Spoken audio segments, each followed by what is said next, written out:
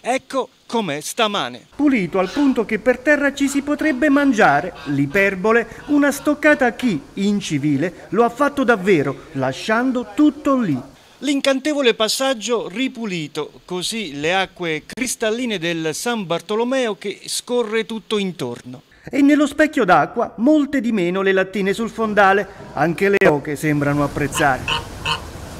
A pulire tutto i ragazzi del gruppo Ultras Venafro, armati sì, ma di ramazza, guanti e tanta buona volontà, ieri pomeriggio si sono dati da fare. E come a vedere i risultati? Gli scatti ripresi su una pagina Facebook dedicata alla città. Leggiamo il post, fa riferimento anche alla nostra emittente. Questi ragazzi, dopo il servizio di TVI sulle condizioni pietose della zona lavatoio, si sono organizzati e hanno ripulito la zona in maniera eccellente. Questo significa amore per la città.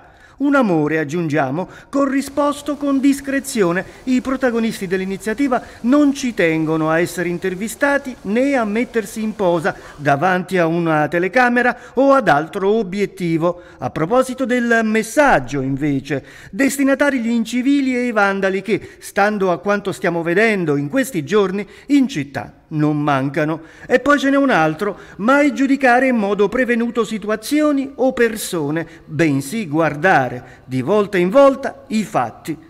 E sì perché la sorpresa è dietro l'angolo, in questo caso dentro al lavatoio.